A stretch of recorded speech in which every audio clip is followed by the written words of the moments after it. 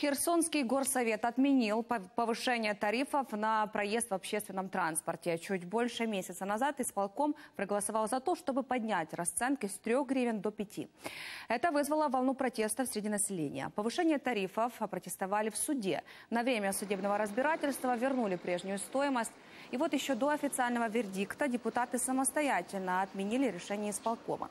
Теперь 3 гривны за проезд в маршрутках – официально утвержденная цена. В ответ перевозчики пригрозили забастовкой, но пока только подали ответный иск в суд. Говорят, возить пассажиров за 3 гривны им невыгодно. Депутаты уверены в обратном. Депутатами Херсонского городского совета было принято ну, вполне логичное решение а, об отмене решения исполкома о повышении стоимости проезда в маршрутках.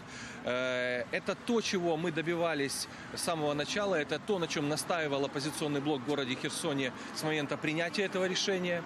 Мы абсолютно понимаем э, то, что в стране цены на все увеличиваются, но вместе с тем подобными решениями мы обрекаем херсонцев э, и еще большую нищету.